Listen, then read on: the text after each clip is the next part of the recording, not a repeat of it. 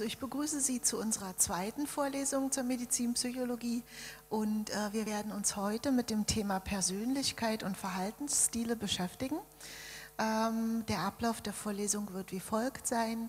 Wir beschäftigen uns mit der Frage des Selbstkonzeptes. Das heißt, wir werden auch ein paar Definitionen uns angucken, aber ich werde auch ähm, Sie mit äh, vielen klinischen Beispielen bekannt machen, sodass das nicht ähm, äh, sozusagen rein theoretisch verbleibt, sondern dass Sie auch äh, die Möglichkeit haben, sozusagen in den klinischen Alltag zumindest vom Zuhören mit einzutauchen.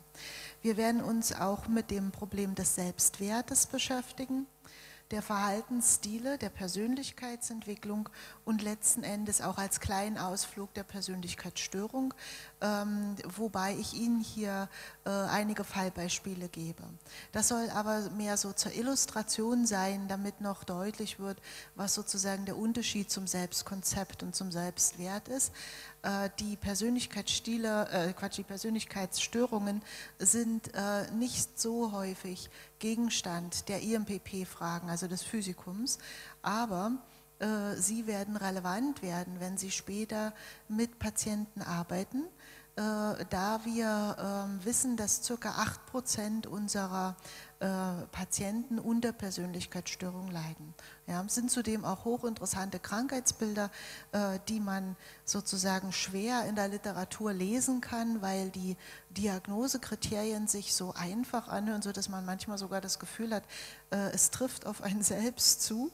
Ja, darunter leiden dann immer die Psychologiestudenten, die machen sozusagen das suggestiv durch, was sie dann durchmachen, wenn sie sich mit Krebserkrankungen beschäftigen. Ja, also da wird nochmal eine ganz schöne Herausforderung auf sie zukommen. Und äh, von der Warte her ist es immer besser, man beschreibt das ein bisschen, sodass bestimmte Diagnosekriterien dann auch von ihrer Wertigkeit leichter verständlich sind. So, lassen Sie uns äh, damit beginnen, was unsere Lernziele heute sein werden. Ähm, wichtig, äh, nicht nur fürs IMPP, sondern auch für Sie persönlich ist die Frage, was ist eigentlich Selbstkonzept? Was sind Selbst- und Fremdbild? Was bedeutet Konzept der Repression und Sensitivierung? Einiges davon hatten Sie schon im Sommersemester im Seminar zu hören äh, bekommen, als wir über die chronischen Erkrankungen gesprochen haben und Sie die äh, Videos gesehen haben zu den Krebserkrankungen, wenn Sie sich erinnern. Ja, und ich hoffe, dass da äh, schon einige Informationen gegeben worden sind und darauf nehme ich dann heute auch Bezug und führe das noch etwas aus. Und wir werden, wie gesagt, auch gucken, was sind Persönlichkeitsstörungen, wie äh, zeigen sich diese, welche Arten von Persönlichkeitsstörungen gibt es und natürlich auch, äh, worin äh, finden sich bestimmte Verhaltensstile und welche sind relevant für welche Erkrankungen. Wir fangen wieder so an wie das letzte Mal und wie ich das auch mit jeder Vorlesung äh, äh, mache.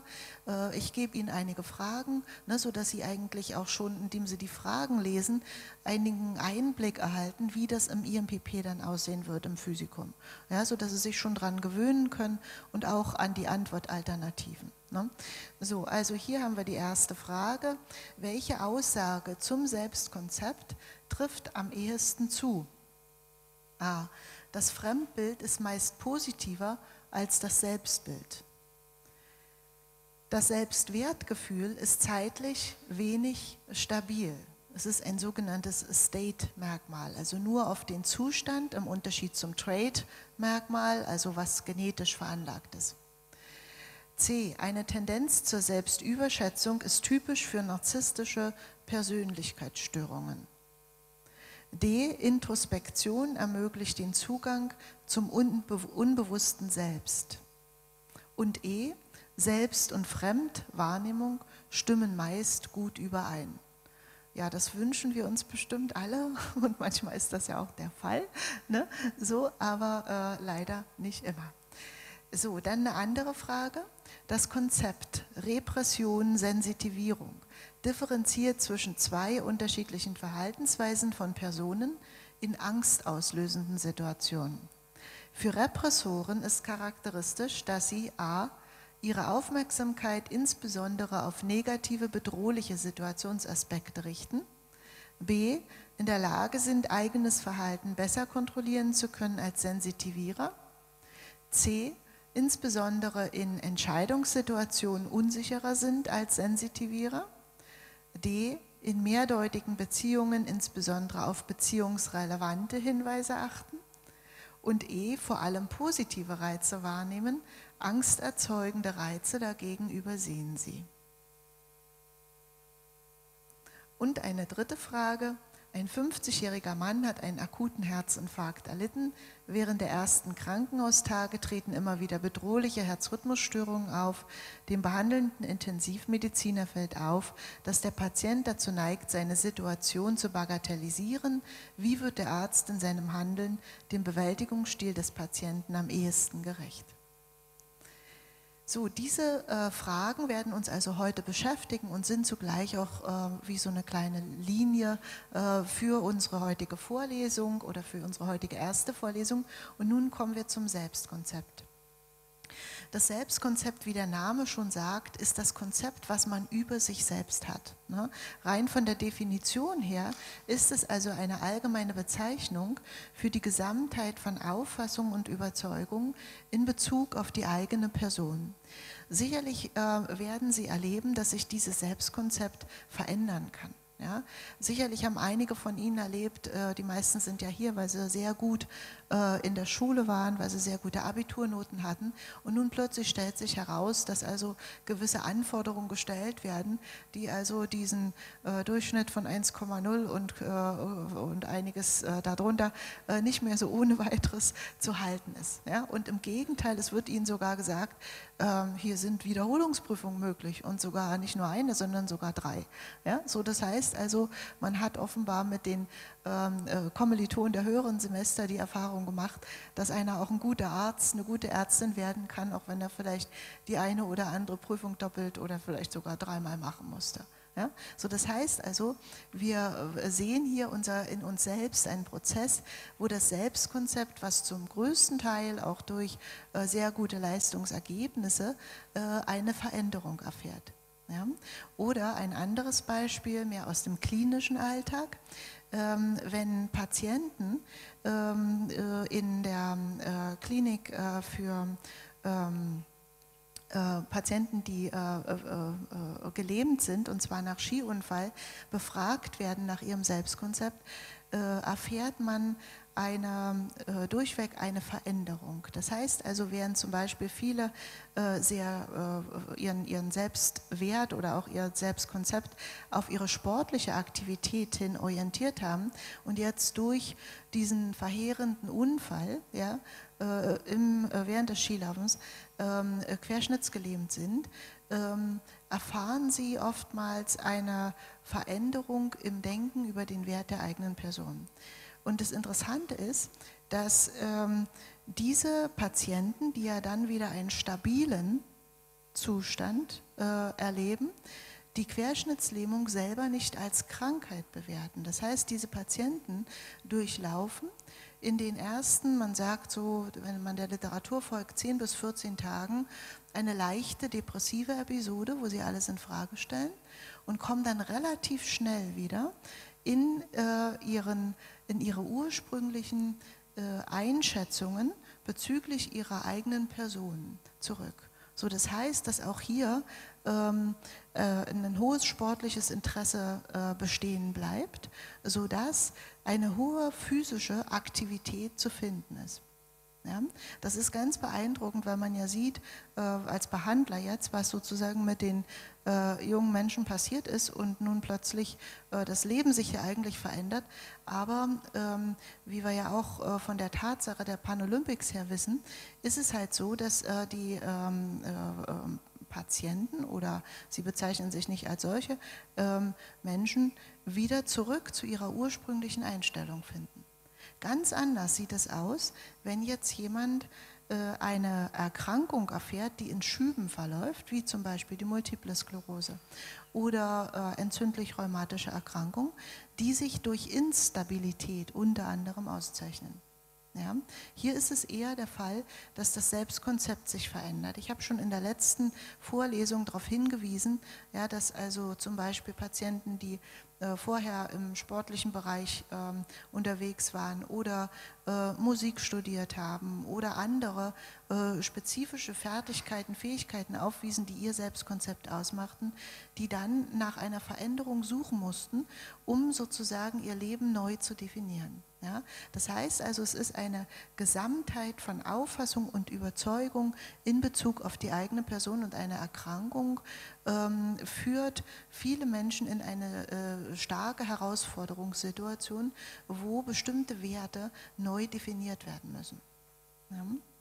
Unter anderem auch den Wert, wie wichtig bin ich als Person in Abhängigkeit von meiner eigenen Leistung.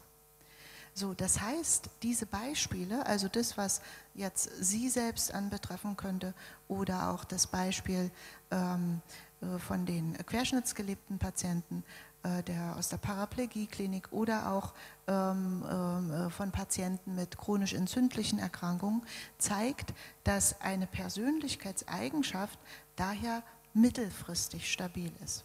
Ja, das heißt, sie ist leicht veränderbar, aber sie hat auch einen äh, starken gewissen Boden, der sozusagen wieder reaktualisierbar ist unter günstigen Bedingungen.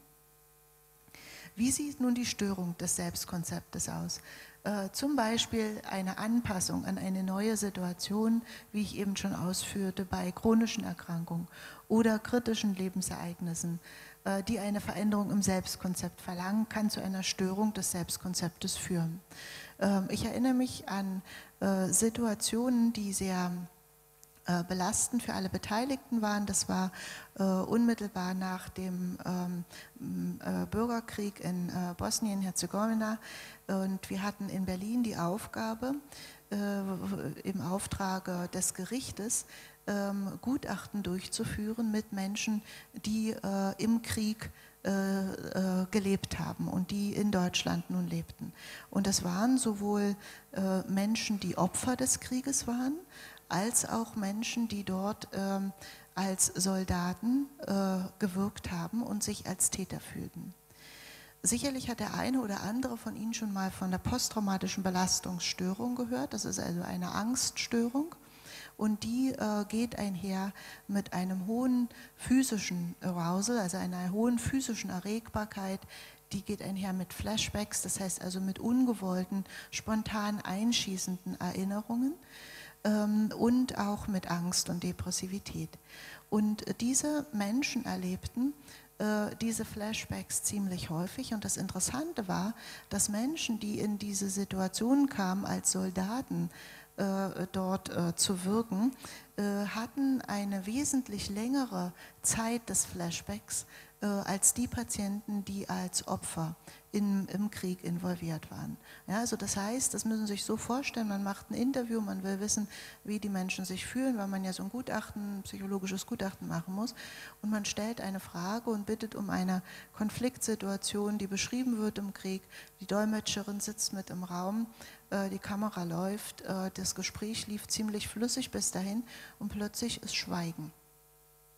Und während bei den äh, Menschen, die in der Opferposition waren, äh, dieses äh, Schweigen so circa zwischen zwei und sieben Minuten andauerte, das muss man erstmal aushalten. Stellen Sie sich mal vor, ich würde jetzt hier sieben Minuten nichts mehr sagen. Ja? So, ähm, war das bei den Tätern über 20 Minuten. Ja, so das heißt also, dort war ein Eintauchen in die Erinnerung und ein Unvermögen, sich in die Realität wieder zurückzufinden, was auf äh, schwere äh, äh Veränderungen in der Hirnantwort zurückzuführen ist. Ja? Und hier ist natürlich klar, dass da eine starke Veränderung des Selbstkonzeptes passiert. Ja? Oder auch das, was Sie vielleicht aus, ähm, äh, von den äh, Soldaten, äh, die aus dem amerikanischen Raum kennen, äh, gehört haben, dass wenn die sich bereit erklären, in den Militärdienst zu gehen, sie eine hohe Wertschätzung erfahren, wenn sie aber invalidisiert dann zurückkommen, sie fast keine soziale Unterstützung mehr haben und dann also größte Schwierigkeiten haben, äh, dort zu überleben. Auch da verändert sich natürlich das Selbstkonzept, da verändern sich Werte. Was ist für mich wichtig? Was macht den Wert eines Menschen aus? Wie sehr kann ich vertrauen? Ja, so, und deswegen, wie gesagt, ist es mittelfristig stabil und kann gestört werden, kann aber, wenn die Bedingungen günstig sind und ähm, wenn auch soziale Unterstützung ähm, äh, vorhanden sind, äh, zu einer äh, Gesundung führen. Was sind nun die Bestandteile des Selbstkonzeptes? Wir unterscheiden das Selbstbild, das heißt also das, was ich über mich selbst denke, das Fremdbild, das heißt, was ein anderer über mich denkt, und das sogenannte Selbstfremdbild, das heißt, was ich glaube, was ein anderer über mich denkt. Im Idealfall stimmen die alle miteinander überein, aber Sie wissen ja genauso gut wie ich, dass dieser Idealfall eben nicht so häufig eintritt. Ja, so und dass wir eigentlich unsere Entwicklung, auch unsere eigene persönliche Entwicklung daraus ziehen, dass genau diese Übereinstimmung noch nicht existiert. Ja, dass wir uns an dem anderen überprüfen oder dass wir unsere Meinung überprüfen und äh, uns äh, im günstigen Fall äh, auch äh, in unserer Persönlichkeit weiterentwickeln. Wenn jetzt, wann könnte eine Diskrepanz zwischen dem Selbst und dem Fremdbild auftreten? Es könnte zum Beispiel auftreten, wenn unterschiedliche kognitive Bewertungen, die zum Teil nicht bewusst erfolgen, äh, eine Rolle spielen. Das heißt also, wenn zum Beispiel ähm, ein Mensch über eine äh, Situation, die ihm wichtig ist, wie zum Beispiel das Studium, ähm, eine ganz klare Einstellung hat, dass er das unbedingt schaffen will, dass er unbedingt sein Ziel erreichen will. Ich will Ärztin, ich will Arzt werden und ich wende meine ganze Zeit darauf auf. So, jemand anderes, vielleicht aus dem Freundeskreis oder ein Partner, der dieses Ziel nicht hat und der vielleicht denkt, dass, die, äh, dass das Leben nur dann lebenswert ist, wenn man ähm, einen intensiven Freizeitbereich führt, würde dann sozusagen diese Einstellung, sich immer wieder dem Studium zuzuwenden und mit äh, großer Intensität äh, den Aufgaben zu folgen, äh, nicht verstehen können ja, und würde hier eine Abwertung äh, erfahren. Das heißt, da könnte in dem Moment eine, ein Unterschied in den kognitiven Bewertungen äh, zwischen Selbst- und Fremdbild erfolgen, die nicht unbedingt bewusst sind. Ja, wir können das manchmal simpel zusammenfassen und sagen, naja, der mag das eben nicht, was ich tue. Äh, oder es könnte auch sein, äh, dass äh, es tatsächlich ganz unterschiedliche Selbstkonzepte zur, zur, zur Grundlage hat. Ja, das ist einer der wichtigsten Gründe, warum es zum Beispiel in äh, industrialisierten Ländern zu Scheidungen kommt. Ja? Also dass unterschiedliche Einstellungen in Bezug auf die Arbeitsmotivation vorliegen und dann der Stress, der durch die Arbeit mit in die Partnerschaft oder in die Familie kommt, weil eben diese unterschiedlichen Einstellungen vorliegen, dann sozusagen zur Störung der Partnerschaft führt. Ja, so das heißt also, dass man hinsichtlich des Selbst- und Fremdbildes bei der Wahl seiner Freunde oder auch seiner Partner dann schon ziemlich genau hingucken sollte, ja, äh, mit wem man es da zu tun hat und ob es da Ähnlichkeiten gibt, ja, be beziehungsweise Dinge, wo man sich gegenseitig ähm, eben halt bestärken kann, befruchten kann und nicht ausschließlich äh, sozusagen ähm, äh, äh also auf den Unterschied hin orientiert. Nehmen wir mal ein Beispiel aus, dem, aus der Klinik. Wir haben hier eine Patientin mit Verdacht auf Angina pectoris, ähm, ein Patient, Entschuldigung, und dieser Patient hat 16 Stunden täglich gearbeitet. Der kommt jetzt zum Arzt äh, mit dieser Symptomatik, kommt an und erklärt, ja, also ich soll hier mal herkommen. Irgendwie soll irgendwas nicht in Ordnung sein. Ja? So. Und nun sieht man also, der soll ein, ein, tägliches Fitnessprogramm in seinen Alltag integrieren, damit er sozusagen über den Sport ähm, die Gefäße und die Gefäßreagibilität ähm, äh, beeinflussen kann, den Stress abbauen kann. Und nun stellt sich die Frage, dieser Mensch, der nun die Einstellung hat, 16 Stunden zu arbeiten und wo auch eine Notwendigkeit dahinter ist, wie ähm, äh, äh, wie real ist es, diesen Menschen von Behandlerseite ein, ein Fitnessprogramm aufzubürden. Was meinen Sie, wird er das machen? Eher nicht. Ne? So, das heißt also, wenn dieser Mensch dieses Selbstkonzept hat, ich muss immer arbeiten, ja, dann wird, äh, wird er Schwierigkeiten haben, äh, dieser sinnvollen äh, Behandlungsstrategie zu folgen.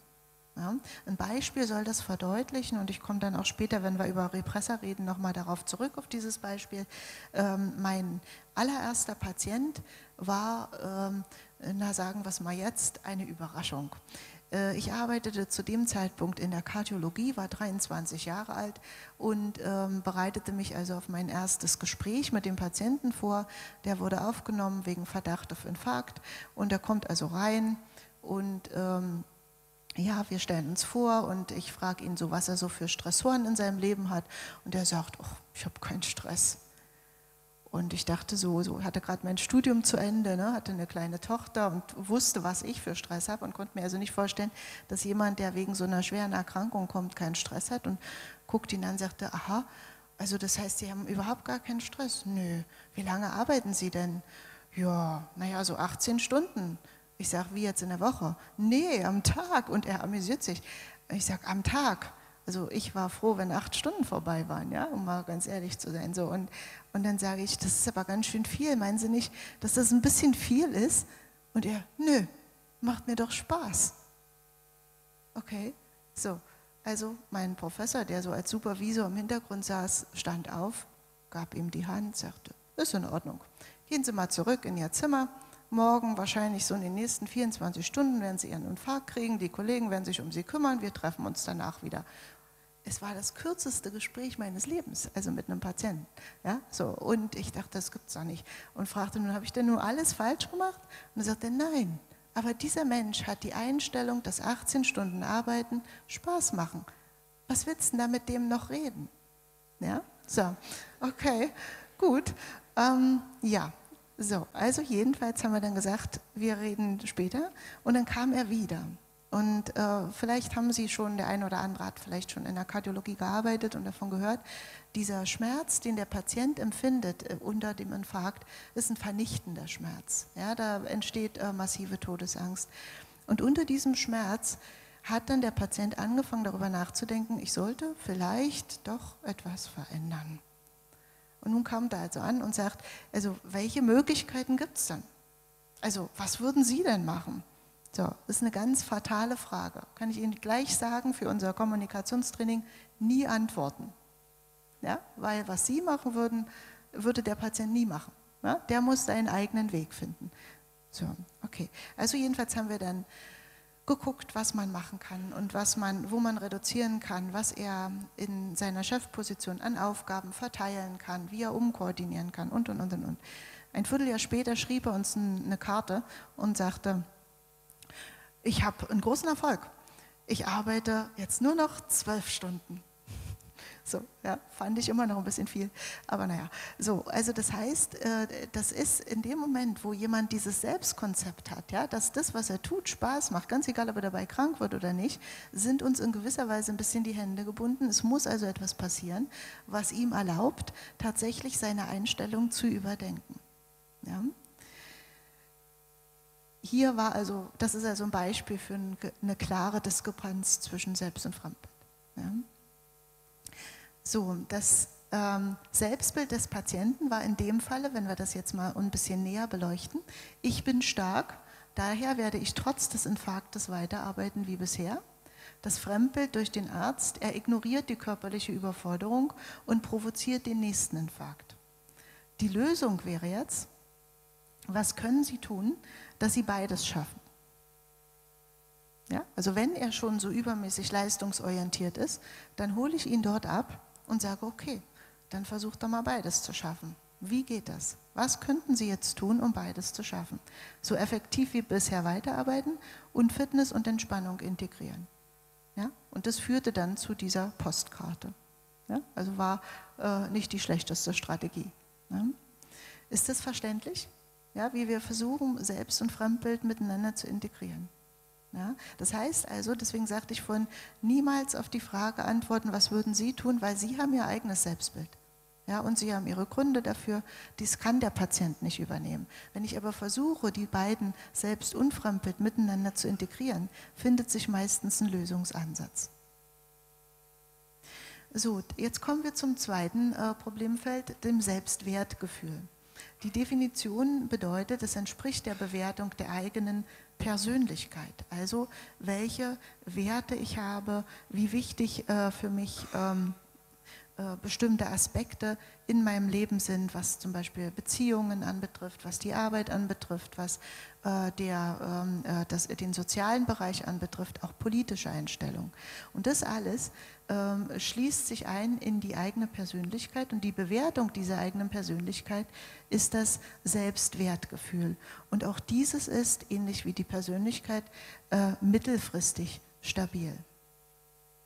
Das Wohlbefinden dabei äh, kann als sogenannter individueller Sollwert äh, betrachtet werden. Das heißt also, er ist entscheidend für das ähm, Wohlbefinden und ähm, äh, ein Beispiel davon habe ich Ihnen schon gebracht.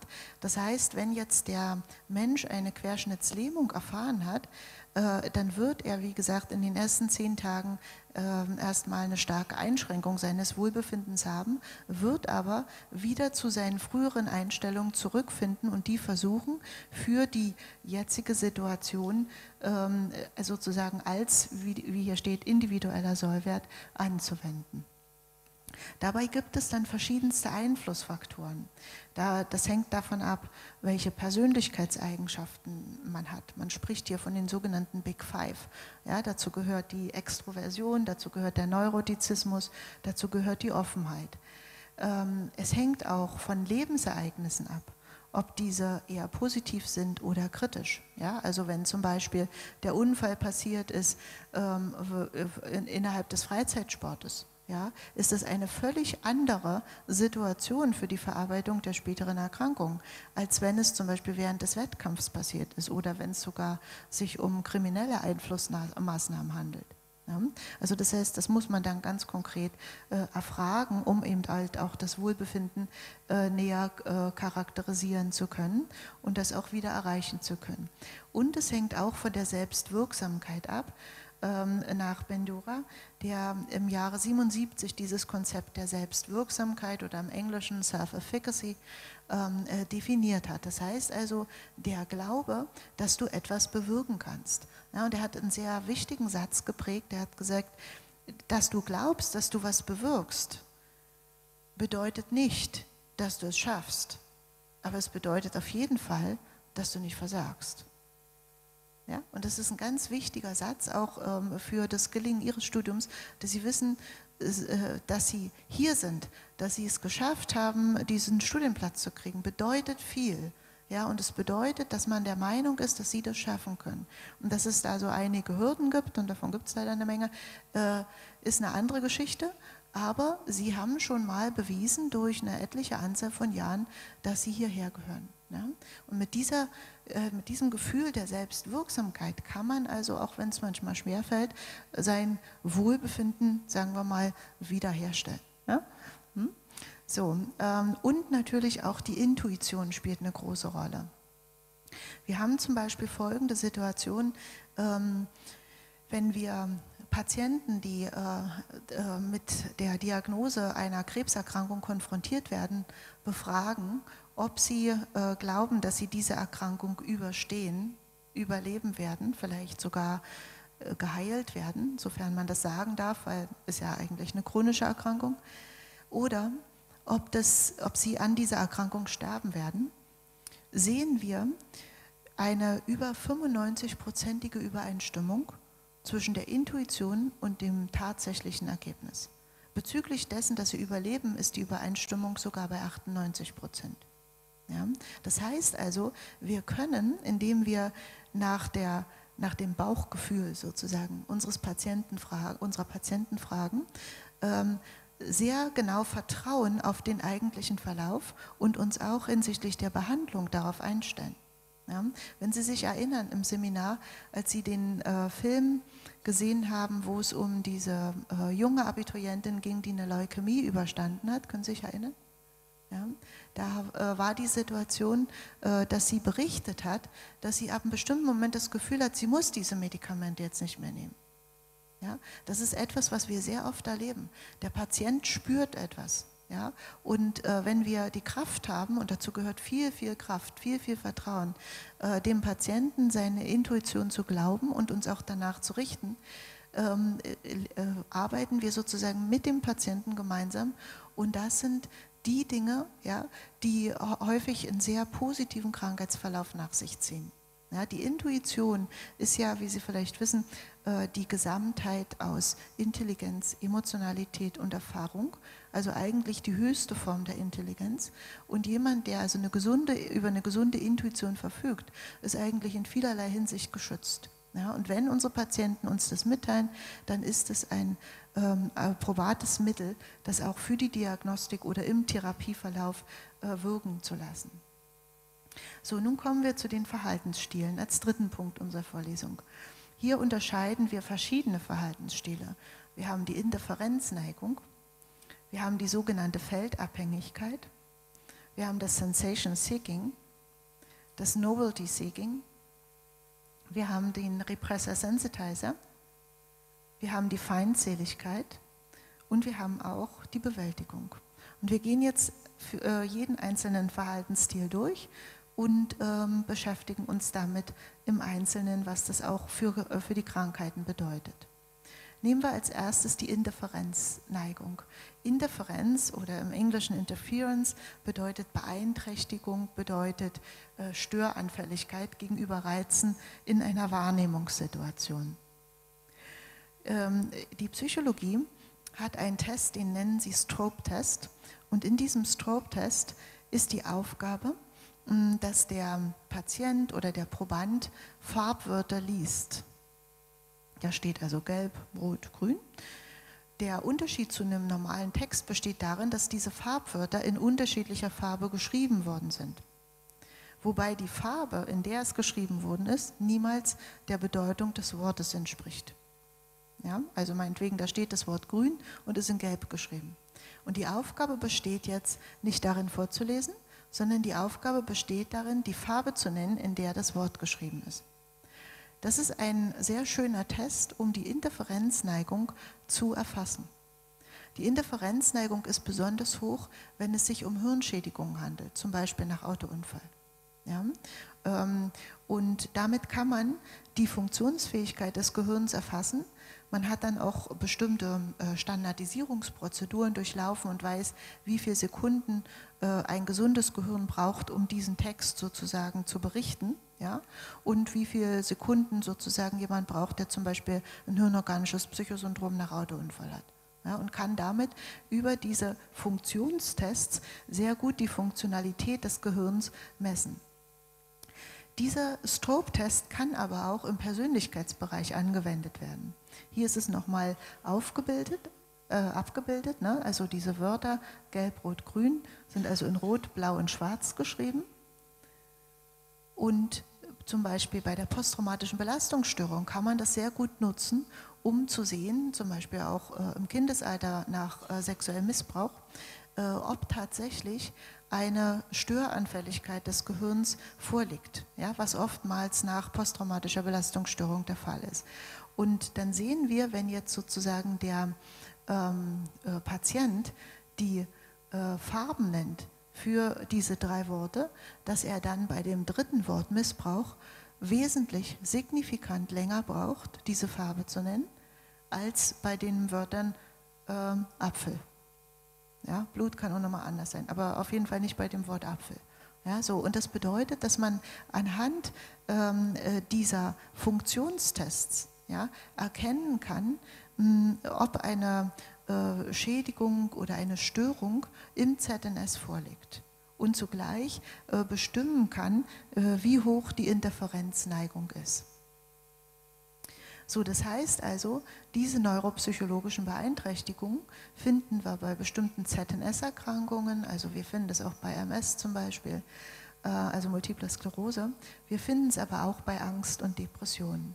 Und da schließt sich wieder der Kreis zu dem, was wir gestern gesagt haben, dass äh, wir kaum Krankheiten finden, äh, wo man sagen könnte, das ist nur organisch oder nur psychisch. Ne? Weil natürlich jede psychische Erkrankung oder angloamerikanisch sagt man psychiatrische Erkrankung ähm, auch immer bestimmte endokrine Veränderungen hat, bestimmte veränderte Hirnantworten hat, ja, bis hin zu äh, Neubildung von äh, äh, neuronalen Zellverbänden, ja, die äh, eine bestimmte Reaktivität im Gehirn ermöglichen, die es vorher gar nicht gab.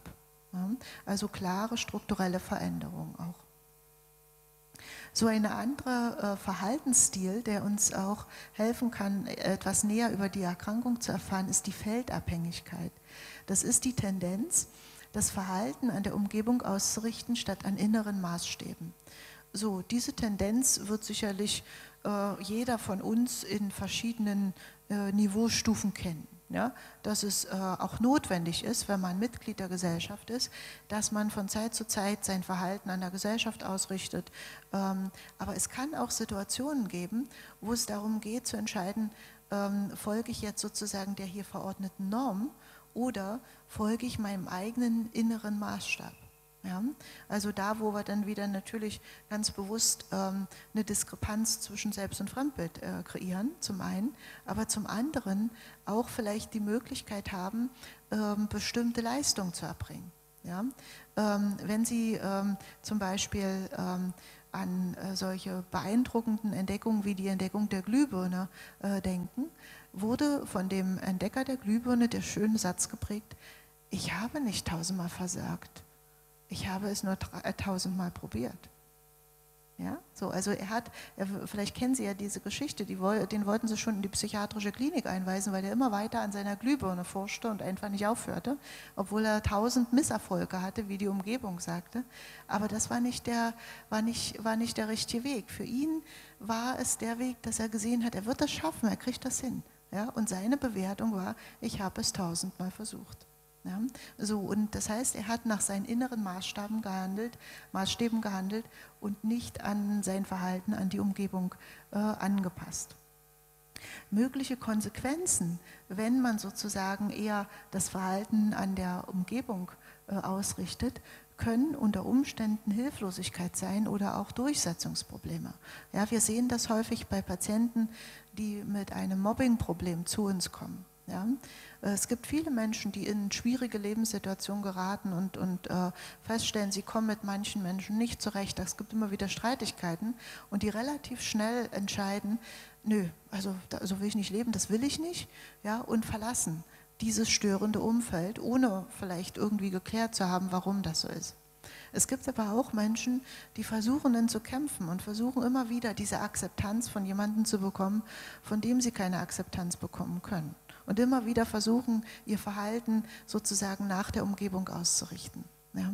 Und die Effekte davon sind dann Hilflosigkeit äh, und, und Durchsetzungsprobleme und nicht selten auch eine Depressivität oder auch Schlafstörung, Erschöpfung, Burnout ja? und auch Essstörungen. Das ist eines der schwierigsten Probleme, äh, wenn ähm, die ähm, äh, jungen Menschen zu uns kommen und eben sehen, dass ähm, sie versucht haben, eigentlich äh, ihren inneren Maßstab zu folgen, es aber nicht konnten. Und oftmals sehen wir eben, dass äh, das Menschen sind, die aus sehr leistungsorientierten Familien kommen und diese hohe Leistungsorientiertheit aber auf Kosten der emotionalen Wärme, der Empathie geht und, das, äh, und, und bei diesen Menschen äh, dann ein Kontrollverlustgefühl äh, entstehen lässt. Ja, weil man kann nicht alle Leistungen erfüllen können. Das geht nicht. Man kann manche erfüllen, aber man kann nicht alle erfüllen. Und dann sozusagen der Ausweg lediglich darin besteht, dass sie wenigstens ihr Essen oder ihr Essverhalten beeinflussen können. Ja, dass das dann ein Trugschluss wird und dann irgendwann zur Sucht wird und dann nicht mehr beeinflussbar ist, ist dann noch äh, die Konsequenz des Ganzen. Aber angefangen hat das ursprünglich mit dieser Feldabhängigkeit. Ist das für Sie deutlich, wie Verhaltensstile Krankheiten beeinflussen? Ja, wird es, wird es deutlich? Ja? Okay. Mhm. Gut, dann machen wir weiter. Nehmen wir das Sensation Seeking. Das ist die Tendenz, stimulierende Situationen aufzusuchen, äh, zum Beispiel die Neigung zu riskanten Verhalten, wie schnelles Autofahren oder Drogenmissbrauch. Und hier existiert eine biologische Hypothese, und zwar, dass das passiert, um einen Ausgleich einer zu geringen Noradrenalin Aktivität äh, zu äh, vollführen. Das heißt, Menschen, die äh, aus gewissen genetischen Gründen heraus ähm, ihr ähm, zu wenig nur Adrenalin produzieren, scheinen dazu zu neigen, besonders risikovolle Situationen aufzusuchen. Man könnte das auch psychophysiologisch, also stressphysiologisch ähm, erklären, indem man sagt, wenn diese Menschen zu wenig Noradrenalin produzieren, äh, dann könnte es sein, dass auch zu wenig Angst empfunden wird. Und Angst kann ja auch ein Warnsignal sein. Ja? Und wenn ich jetzt das Warnsignal habe, ähm, dass bestimmte ähm, Risikosituationen mich in eine schwierige äh, gesundheitliche Situation äh, führen könnten, werde ich es nicht tun. Habe ich aber dieses Warnsignal nicht, setze ich mich diesem aus. Ja. So, wir sehen zum Beispiel, dass auch bei kardiologischen Erkrankungen, nicht zuletzt auch bei dem Patienten, äh, mit, über den ich vorhin gerade berichtet habe, ja, dass er ähm, mehr und mehr in der Lage war, äh, seinen Tagesablauf zu erhöhen. Ich habe ihn dann mal gefragt, ob er denn schon immer 18 Stunden gearbeitet hätte, ne? also weil mir das einfach unvorstellbar erschien. Der sagte, ich habe eigentlich immer gern gearbeitet, aber ich kann mich erinnern, schon in der Grundschule wurde mir gesagt, dass es gut ist, auch mal eine Pause zu machen. Ich habe das irgendwie nie gespürt. Ja, so, also da, da fehlte so dieses äh, Gefühl, äh, wie schön es ist, auch mal zur Ruhe zu kommen, sich mal zu entspannen, das fehlte irgendwie völlig. Ja, so und, äh, und, und wenn äh, das äh, Menschen schon von der Kindheit an nicht lernen können, ist es ganz folgerichtig, dass sie dann in so einen äh, Rhythmus kommen, wo sie sozusagen wie ein permanent arbeitender Motor arbeiten, bloß das hält natürlich kein Organismus aus ja, und reagiert dann eben halt irgendwann auch mit einer kardiologischen Erkrankung. Suchterkrankungen sind auch häufig davon betroffen, insbesondere was natürlich auch dann den Drogenmissbrauch anbetrifft. Äh, und sehr verwandt zum Sensation Seeking ist das Novelty Seeking, also die Suche nach Neuigkeit, nach Abwechslung, nach Aufregung. Und hier wird sogar ein genetischer Einfluss äh, diskutiert, und zwar äh, das Allel des Dopaminrezeptor Gen 4 äh, mit der Folge, dass äh, zentralnervös ein äh, Dopamindefizit zu finden ist. Das heißt also, dass ähm, äh, zu wenig Dopamin produziert wird, äh, während eben diese Suche nach Neuigkeit zu einer Erhöhung des Dopaminspiegels führt. Krankheiten, die man dafür findet, sind vor allen Dingen ähm, äh, die Hyperaktivität, also das ADHD. Ähm, und äh, die sozusagen nur dann günstig zu beeinflussen sind, wenn die Patienten auch tatsächlich lernen, dass diese Suche nach Neuem ähm, nur dann sinnvoll ist, wenn es die Funktion erfüllt, die eigene Motivation zu erhöhen. Ja, und das ist natürlich im Kindesalter eine ganz spezifische Herausforderung. Äh, ein günstiges Konzept ist dabei, diese Kinder in Sportgruppen äh, sozusagen zu integrieren, weil dann diese Suche nach dem Neuen, nach immer wieder neuen Erfolgen und immer wieder neuen Herausforderungen im Sport noch am effektivsten zu kanalisieren ist. Ja. Dann gibt es natürlich noch andere äh, endokrine Prozesse, die da eine Rolle spielen, aber die sind jetzt erstmal sekundär. Damit werden Sie sich dann beschäftigen, wenn Sie zu der Frau Becker in die Kinderneuropsychiatrie gehen. Ähm, unser nächster Verhaltensstil sind die Repressor Sensitizer. Hier ein Beispiel für die Repressor. Und die Definition, es sind Personen, die sich generell gedanklich und instrumentell wenig mit bedrohungsrelevanten Situationsmerkmalen befassen. Das heißt, es ist eine rigide kognitive Vermeidung. Ja? Also das, was ich Ihnen von dem Patienten, den ich als allererstes kennengelernt habe, erzählt habe, der hat nicht einen einzigen Gedanken darauf verschwendet, dass es ja vielleicht 18 Stunden ganz schön viel ist.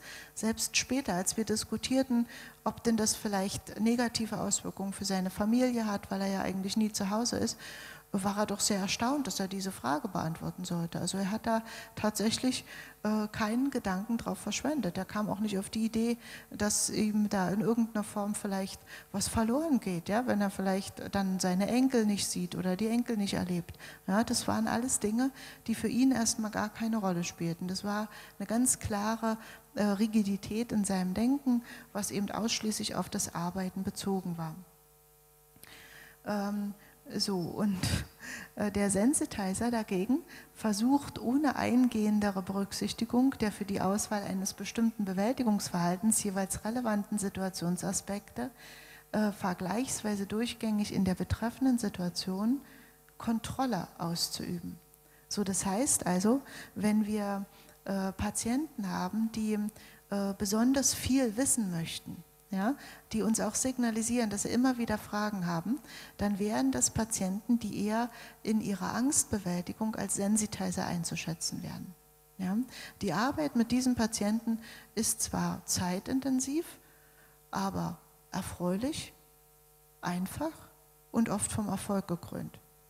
Die Arbeit mit Repressern ist etwas, wo meine ärztlichen Kollegen immer sagen, furchtbar, schrecklich, Angst.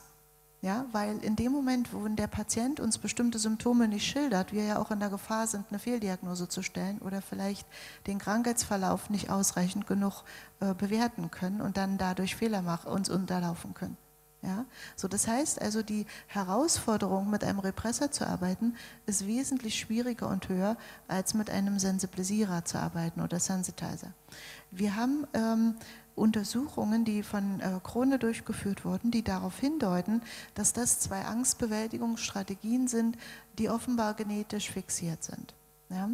Und äh, diese äh, genetische Fixation ist natürlich noch nicht im Einzelnen nachgewiesen. Das wird wahrscheinlich auch nur schwer gelingen, weil einfach der Übergang zwischen genetischer und Lerngeschichte äh, sehr fließend sein kann. Äh, aber wir wissen, dass es sich hier um eine gewisse Unveränderbarkeit handelt. Für äh, Fragen, welche Therapie angeeignet äh, sind, wie zum Beispiel, was wir uns letztens angesehen haben, die Patientenschulung, ja, ist ganz klar zu sagen, dass der Sensibilisierer von der Patientenschulung hoch profitieren wird, weil der verliert seine Angst, indem er mehr Informationen bekommt, die ihm mehr Kontrolle über die Erkrankung geben. Macht Sinn, oder? Ne? So. Äh, der Repressor dagegen, der ausschließlich auf die positiven Aspekte zielt. Ja, wie der eine ähm, Kardiologiepatient, von dem ich äh, gestern noch berichtet habe, der sagte, Och, ich kann da noch drei Stufen steigen, ich weiß gar nicht, was meine Frau hat. Ja, so, äh, der würde, so, würde niemals positiv und mit Motivation darauf reagieren, dass er in die Klinik soll, wenn man ihm all die Informationen gibt, was dann in der Klinik mit ihm gemacht wird. Ja, sagt ihm aber äh, der Arzt, danach können Sie bestimmt sechs Stufen steigen, wenn nicht sogar noch mehr. Ja? So, also auf das Positive fokussiert, hat man eine gewisse Chance, auch diesen Menschen zu motivieren, bestimmte Behandlungen äh, über sich ergehen zu lassen. Ja? So, und dafür brauchen wir diese Einschätzung der Verhaltensstile, um in unserer Therapie effektiv zu sein. Ja? So, und äh, ein anderer äh, Verhaltensstil ist das Wettbewerbsstreben. Hm, da gab es in den äh, 70er Jahren ähm, äh, zwei Forscher, die haben das sogenannte Typ A-Verhalten charakterisiert mit den Begriffen Feindseligkeit, hohes Leistungsstreben, starkes Verantwortungsgefühl, hohe Einsatzbereitschaft bis hin zur Verausgabung, hohes Kontrollbedürfnis und immer unter Zeitdruck und möglichst Ungeduld, ungeduldig. Äh, so, und eigentlich war das nur ein, ähm, also eine wissenschaftliche Studie, die eine bestimmte Gruppe von Menschen untersucht hat. Hm, diese Gruppe war nun in der Kardiologie angesiedelt und äh, fälschlicherweise haben dann einige Kollegen daraus gemacht, alle kardiologischen Patienten zeigen das Typ A-Verhalten. Und ich möchte Ihnen sagen, es gibt dieses Verhalten, aber nicht alle kardiologisch erkrankten Patienten zeigen das Typ-A-Verhalten. Es gibt auch eine gewisse andere, eine, eine, große Gruppe, die zeigt das genau das, das volle Gegenteil. Ja? Aber es gibt natürlich einige von diesen, und das sind natürlich Menschen, die sich ungeheuer verausgaben und ständig unter Spannung stehen, ständig unter Strom stehen, wo man dann, wenn man da als äh, relativ entspannter Mensch daneben äh, steht oder sogar mit ihnen vielleicht äh, Mittag oder Abend isst, also fast schon Magengeschwür kriegt vor lauter Stress, weil die einfach so eine, so, ein, so eine, ähm, ja, so eine Unruhe verbreiten. Ja. So, und das ist natürlich klar, dass dann, wenn sie behandelt werden bezüglich ihrer Herzerkrankung, dann auch hinsichtlich ihres Verhaltensstils einige Veränderungen vollziehen müssen. Und manche schaffen das auch, ja, aber es ist für die Patienten schon eine Herausforderung. So, das heißt also kardiologische Erkrankungen. Wir kennen das aber auch zum Teil bei bestimmten Schmerzerkrankungen, vor allen Dingen so im Rückenschmerzbereich, äh, die dann mit starker Muskelanspannung einhergehen und wo natürlich äh, die Idee, denjenigen dann ins Fitnessprogramm zu integrieren oder Massagen zu geben, äh, nur wie so ein Tropfen auf dem heißen Stein wirken, weil ja dieses durchgängige Verhalten dann immer wieder Stressfaktoren sozusagen hervorruft. Das heißt also, man muss auch hier multimodal vorgehen und muss von drei verschiedenen Seiten kommen. Einerseits medikamentös, andererseits äh, psychotherapeutisch und auch physiotherapeutisch. So, und dann gibt es einen äh, Verhaltensstil, was immerhin 30 Prozent unserer chronisch kranken Patienten zeigen. Das ist die aktive Bewältigung im Unterschied zum passiv-resignativen Stil. Und die aktive Bewältigung sieht man eben daran, wenn äh, Patienten zum Beispiel äh, die Motivation haben, an der Patientenschulung teilzunehmen wenn Sie äh, durch die Informationen, die Sie da, dadurch bekommen, ähm, Ihre Einstellung zu bestimmten Prozessen ändern. Dazu gibt es diesen Fachbegriff der kognitiven Umstrukturierung. Das heißt, es erfolgt eine Umbewertung. Ja. Gerade unter dem Aspekt, wenn jetzt jemand ähm, seinen sein Selbstkonzept dadurch definiert hat und auch seinen Selbstwert dadurch definiert hat, dass er ungeheuer leistungsorientiert sein muss, ähm, und dann aufgrund der chronischen Erkrankung spürt, dass es auch ohne ihn geht, dass es auch Möglichkeiten gibt, wo ähm, er Aufgaben verteilen kann, wo er ähm, sich auf äh, Freizeitaktivitäten oder auf Aufgaben innerhalb der Familie orientieren kann und ihn das auch bereichern kann, äh, sind Dinge gegeben, die wir als kognitive Umstrukturierung bezeichnen. Das sind nur einige ähm, wenige Beispiele. Es gibt aber auch noch viel, viel tiefer gehende Beispiele äh, für eine kognitive Umstrukturierung, die nicht nur den Leistungsaspekt anbetreffen, sondern auch die Fähigkeit, sich auf diese Erkrankung einzulassen. Ja, also zum Beispiel, ähm, wir, haben, wir machen manchmal als Behandler den Fehler, wenn der Patient jetzt die chronische Krankheit hat, wir die Diagnose äh, ihm gegeben haben, dass wir sagen, jetzt müssen Sie damit leben. Ja? Und dieser Satz ist wie so ein Faustschlag direkt ins Gesicht, ja? weil die Patienten ähm, nicht wissen wie. Ja? Und wenn ihnen jetzt einfach nur gesagt wird, ja, pff, damit müssen sie jetzt leben, äh, ist das ungeheuer schwer und zeigt ihnen eigentlich nur, was sie nicht können.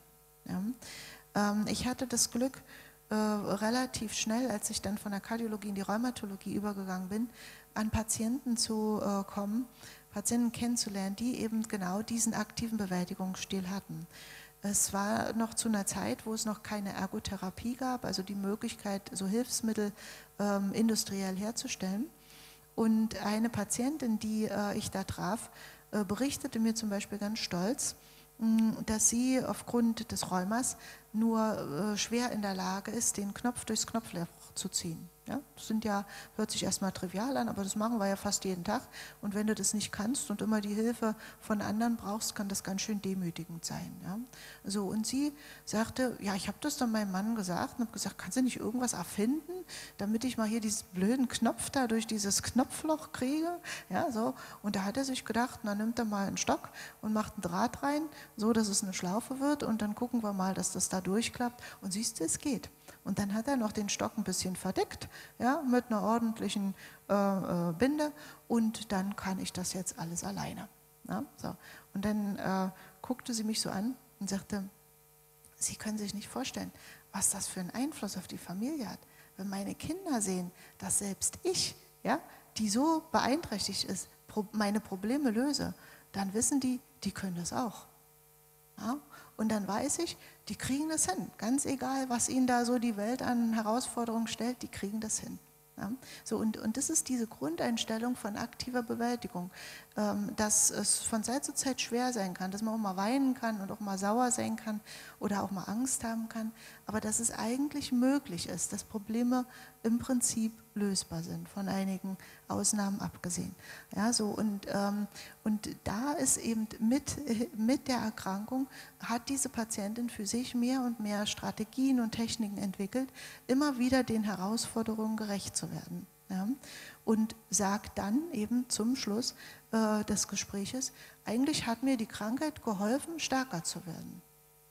Ja, und stärker meint sie geschützter, ja, nicht angreifbarer zu werden.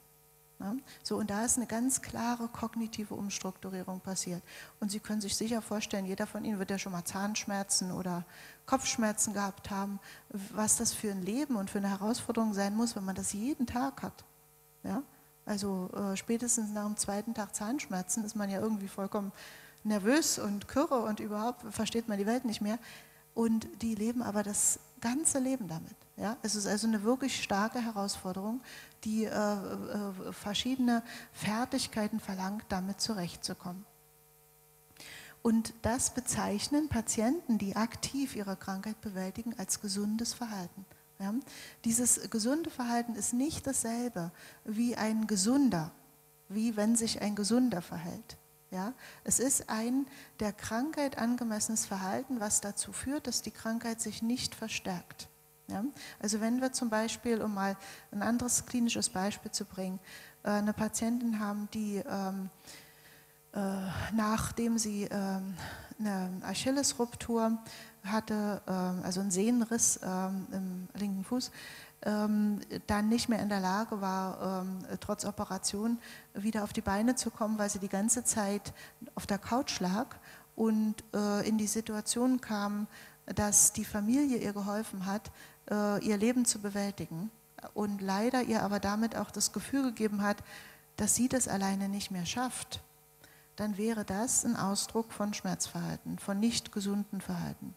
Wenn diese Patientin dann wieder anfängt, langsam zu trainieren ja, und sagt, okay, ähm, ich habe jetzt eine Zeit, wo ich 18 Stunden im Bett liege, ich muss da wieder raus, ja, ich muss wieder am Leben teilnehmen, ich möchte das wieder, und dann langsam anfängt zu trainieren, anfängt mit fünf Minuten, das steigert auf zehn Minuten, dabei lernt sich zu belohnen, weil sie bemerkt hat, dass jede Art der Verurteilung nur dazu führt, dass sie äh, einen Rückschritt erleidet, dann ist das gesundes Verhalten. Ja? So, und, äh, und davon kann man auch selber als Behandler lernen. Also ich äh, wage zu behaupten, dass ich sehr viel von meinen Patienten gelernt habe, was, äh, was die klinischen Dinge anbetrifft, bestimmt mehr als aus jedem Lehrbuch. So, was ist jetzt der passiv-resignative Stil? Das sind Patienten, die oftmals unter Ängsten leiden die eben so, wie ich eben jetzt von der einen Patientin berichtete, in der Situation waren, dass ihnen unwahrscheinlich viel abgenommen wird. Ja, die äh, dann daraufhin die Angst entwickeln, nicht mehr alleine das machen zu können und dann sogar, obwohl oder gerade deswegen, weil die ähm, äh, Familie so stark geholfen hat, ähm, ihren Schmerz sogar noch stärker wahrnehmen, weil sich alles um diesen Schmerz dreht ja, oder alles um die Erkrankung dreht. Und das ist eine sogenannte dysfunktionale Verarbeitung, die mit Angst einhergeht und das sieht man den Patienten meistens auch so an, weil die auch ganz klar das in ihrem Verhalten zeigen, wie sehr sie leiden. Ganz anders Patienten, die unter Depressionen leiden, äh, also außer jetzt chronischen Erkrankungen wie Karzinomerkrankungen oder Diabetes oder auch ähm, kardiologische oder rheumatologische Erkrankungen. Da äh, spielt oftmals eine Rolle, äh, dass sie zu wenig, also genau das Gegenteil, soziale Unterstützung erfahren, weil möglicherweise der Partner sehr ähm, ja, negativ auf die Erkrankung reagiert. Wir haben lange Zeit gedacht, naja, die haben vielleicht schlicht und ergreifend Eheprobleme und haben dann erst so nach und nach herausgefunden, dass es eher, nachdem wir uns die Krankheiten der Partner angeguckt haben, ähm, dass diese Menschen eher unter maskierten Depressionen litten und aus diesem Grunde gar nicht in der Lage waren, auf ihre ähm, Ehepartner einzugehen, die unter einer chronischen Erkrankung leiden. Ja? Und da entstand so ein interpersonell beeinträchtigtes äh, Bewältigungsmuster, was also sich darin zeigt, dass äh, diese Patienten extrem aktiv sind, überaktiv sind und ähm, dann aber so äh, innerhalb des Stresses so eine Stressanalgesie erleben, also weniger Schmerz erleben, damit sozusagen immer mehr Grund haben, so extrem aktiv zu sein, so lange bis sie dann zusammenkrachen, weil man das einfach auf die Dauer nicht durchhält. Ja, so, das kann man dann äh, also ähm, nicht so ganz leicht erkennen. Ähm, das erkennt man meistens daran, dass die Patienten sich für ihre Erkrankung entschuldigen. Ja, ja, mein Mann hätte sicherlich was Besseres verdient. Meine armen Kinder müssen dann mit sowas wie mit mir klarkommen. Ja, so, und dahinter steht, dass äh, sozusagen eine tiefe Schuld ähm, empfunden wird, dass sie so krank sind. Ja, so, und, und, und hier sind ähm, zwei völlig unterschiedliche Verhaltensstile, die äh, bei ein und derselben Erkrankung auftreten können. Und während ich die ersten, die sozusagen 18 Stunden im Bett liegen, aktivieren muss, dass sie was tun, dass sie wieder zu sich selbst finden, muss ich die anderen aus der Aktivität rausnehmen ja, und muss sie versuchen, dahin zu führen, etwas für sich zu tun. Ja, sozusagen ihren Selbstwert äh, zu erhöhen, indem sie etwas für sich tun. Ist das verständlich? Ja, so das heißt, wir haben eine Diagnose aber wir gucken uns auch an, was die Verhaltensstile sind und erst dann entscheiden wir, welche Therapie könnte die effektivste sein. Ja? Und das ist im Prinzip das, was wir so das gelebte biopsychosoziale Modell nennen. Ja? Dass man eben wirklich guckt, was sind, wo kriege ich die Informationen von drei verschiedenen Seiten, pack die zusammen und gucke dann, was könnte jetzt eine geeignete Therapiestrategie sein. Ja? So, ja, und natürlich ähm, zu, dieser, zu diesem passiv-resignativen Stil gehört auch eine Rigidität äh, und ein starkes Krankheitsverhalten. So, jetzt haben wir also über ähm, das Selbstkonzept, wir haben über, das Selbstwert, über den Selbstwert gesprochen, wir haben über ähm, die ähm, Verhaltensstile gesprochen und nun kommen wir zur Persönlichkeitsentwicklung. Diese Persönlichkeitsentwicklung ist abhängig von der Interaktion zwischen Person und Umwelt. So, das heißt, äh, wir sind natürlich Bestandteil unserer Umwelt, also sind wir auch zum gewissen äh, äh, Teil abhängig von unserer Umwelt. Ähm, das heißt also, es spielt ähm, als ein wichtiger Faktor die Umweltexposition eine Rolle, also die Art der Situation, denen der Mensch ausgesetzt ist. Wenn also ein Mensch unter sehr ärmlichen Bedingungen aufwächst, kommt er mehr oder weniger in die Situation, sich äh, behaupten zu müssen und herausfinden zu, äh, zu müssen, äh, wie er sein Leben bewältigen kann. Im Unterschied zum Beispiel zu Menschen, die von vornherein unter recht harmonischen Bedingungen aufwachsen. Interessant dabei ist, dass nach einer großen Studie, die ähm, auf den Bahamas durchgeführt wurde, wo es also doch viele ähm, oder wo es eine, eine große Anzahl von niedrigen sozialen Status gibt, dass äh, eine gewisse Anzahl von Kindern ein Verhalten entwickelt haben, die ihnen, das ihnen gestattete, ähm, später sogar sozusagen äh, in den mittleren sozialen Stand zu kommen. Und da hat sich ähm, die äh, Stanford University verdient gemacht und hat versucht herauszufinden, was das für Faktoren sind, dass diese Kinder, obwohl sie aus diesen ärmlichen Bedingungen kommen, es schaffen, ähm, trotzdem eine gute Persönlichkeits- und berufliche Entwicklung zu vollziehen.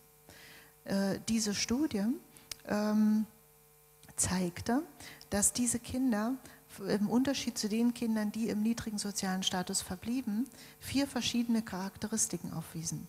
Zum einen eine physische und, und zum anderen eine psychische Gesundheit, das waren zwei wichtige Charakteristiken. Zum anderen aber auch die, die Überzeugung, dass sie etwas besonders gut können. Ja, das war in dem Alter, wo sie befragt wurden, also zwischen fünf und acht. Man hat dann die Studie so über ähm, 20 äh, Jahre laufen lassen, war eine ganz beeindruckende Studie. Ähm, das waren dann solche Beispiele wie, mein Ball trifft immer das Tor. ja, so. Oder ich habe die schönste Stimme der Welt. Ja, so. Also das heißt die Überzeugung, ich kann etwas ganz Besonderes. Und der vierte Faktor, dass sie einen Menschen, das reichte schon aus, das ist wirklich beeindruckend, im Leben hatten, der an sie geglaubt hat. Und das waren nicht die Eltern. Ja, so, das heißt, diese vier Faktoren haben dazu geführt, dass diese Kinder ähm, alle Kraft entwickeln konnten, um aus diesen schwierigen Bedingungen herauszukommen und sich sogar dann ähm, also eine Position in der Gesellschaft erarbeiten konnten, äh, wo sie dann eben halt mehr zu diesem mittleren ähm, äh, sozialen Status gehörten. Wir nennen dieses Verhalten die Resilienz.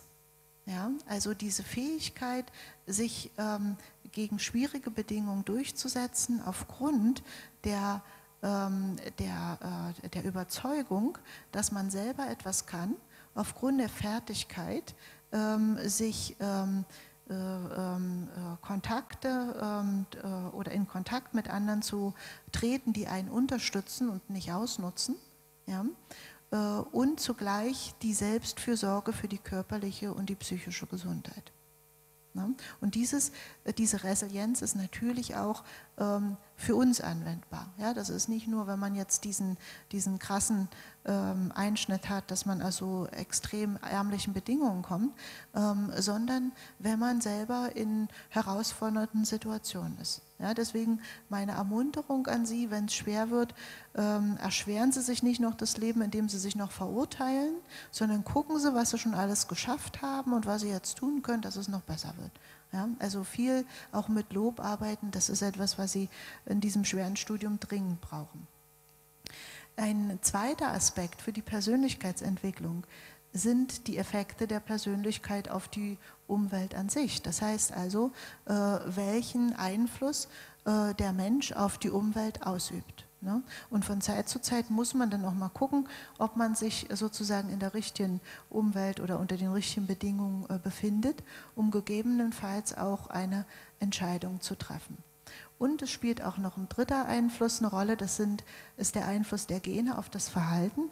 Hier stellen wir aber fest, wenn wir uns Krankheiten angucken, insbesondere im psychiatrischen Bereich, wie zum Beispiel die Suchterkrankung oder die Depressionserkrankung oder selbst auch so eine schweren Erkrankung wie die Schizophrenie, dass Gene immer nur ein Prozent äh, vom gesamten äh, Kompendium für das Verhalten ausmachen. Ja? Also das heißt, es kann zum Beispiel jemand äh, eine bestimmte genetische Disposition haben, dass er mehr verträgt zu trinken, ja, also eine höhere Toleranz entwickeln kann als andere. Aber dass daraus ein Alkoholismus wird, dazu sind dann noch bestimmte äußere Bedingungen notwendig und auch eine bestimmte Lerngeschichte. Ja, die eben äh, sozusagen äh, das Risiko beinhalten, dass daraus sich eine Sucht entwickelt. Und so muss man das auch sehen, also dieser ursprüngliche, diese ursprüngliche Idee, naja, der ist eben so, wie er ist, das ist eben veranlagt, ja, das ist eine sehr, ähm, wie soll ich sagen, unwissenschaftliche äh, Herangehensweise, ja, sondern es sind eher immer drei verschiedene Aspekte. Es ist ähm, äh, die Lerngeschichte, es sind, äh, es sind die äußeren Bedingungen und es sind äh, genetische Einflüsse, die da eine Rolle spielen. So, nun kommen wir zu den äh, Persönlichkeitsstörungen. Bei den Persönlichkeitsstörungen ähm, äh, haben wir es mit Störungen zu tun, die im äh, psychiatrischen Bereich als besonders schwere Störungen bezeichnet werden. Ja, wir werden uns in der nächsten ähm, äh, Vorlesung dann gleich noch mit den Klassifikationssystemen beschäftigen, aber so, ich will jetzt erstmal nur das so stehen lassen. Ja, es geht jetzt ausschließlich darum, äh, dass das eben äh, Störungen sind, die besonders schwer sind. Und sie sind das Ergebnis äh, der kontinuierlichen Wechselwirkung von Genen, von Verhalten und von Umwelt. Im ICD-10, also dem International Classification, äh, Classification of Diseases, diesem Inventar, ähm, das wir benutzen, äh, das wir hier in Deutschland benutzen, wird Persönlichkeitsstörung ähm, definiert als tief verwurzelte, anhaltende Verhaltensmuster, die sich in starren Reaktionen auf unterschiedliche persönliche und soziale Lebenslagen zeigen. Sie verkörpern gegenüber der Mehrheit der betreffenden Bevölkerung deutliche Abweichungen, sowohl im Wahrnehmen als auch im Denken, im Fühlen und in den Beziehungen zu anderen. Solche Verhaltensmuster sind meistens stabil und beziehen sich auf vielfältige Bereiche des Verhaltens und der psychologischen Funktionen. Häufig gehen sie mit einem gestörten Ausmaß persönlichen Leidens und gestörter sozialer Funktionsfähigkeit einher. Dieser Text, der äh, sozusagen ähm, seine Berechtigung hat, ist aber, wenn man jetzt Menschen, die Persönlichkeitsstörungen haben, nicht kennt, relativ schwer zu verstehen, was damit gemeint ist. Ja? Äh, und deswegen lassen Sie mich Ihnen einfach mal die verschiedenen Typen vorstellen und dann auch einige Beispiele bringen, damit Sie sich einen besseren ähm, Überblick verschaffen können. Wir unterscheiden die sogenannten sonderbar exzentrischen Störungen. Dazu gehören die paranoide Persönlichkeitsstörung, dazu gehört die schizoide Persönlichkeitsstörung und die schizotypische Persönlichkeitsstörung. Das ist ein sogenanntes Cluster um das, äh, zu klassi äh, um das vielleicht mal zu untersetzen mit Beispielen. Ähm, Die äh, Psychologen haben als ein diagnostisches Inventar das sogenannte SKIT. Das ist die Abkürzung für ein strukturiertes klinisches äh, Interview, psychiatrisches Interview. Und das ähm, ist, ähm, ja, wie der Name sagt, strukturiert. Also bestimmte Fragen sind vorgegeben, die Antwort, Alternativen sind offen. Und ähm, man kann damit äh, die verschiedenen Erkrankungen erfassen. Äh, wenn man jetzt äh, mit einem Patienten, der eine Störung hat, ähm, wie eine Angst oder eine Depression oder äh, vielleicht auch eine Phobie, ähm, dieses geht durchführt, braucht man ungefähr zwei Stunden. Wir bekamen einen Patienten zu uns in die Ambulanz, der ursprünglich ähm, kommen sollte zur Schmerzbehandlung, der litt an Morbus Bechdorf. Und dieser Patient zeigte ein sehr auffälliges Verhalten. Ähm, wir nehmen das äh, Gespräch meistens per Video auf, damit wir uns das dann später nochmal angucken können. Und äh, genauso wie unsere ärztlichen Kollegen unterliegen auch wir der Schweigepflicht. Das heißt, der Patient wurde darüber informiert, dass das nur äh, zu therapeutischen Zwecken und diagnostischen Zwecken sozusagen erhoben wird.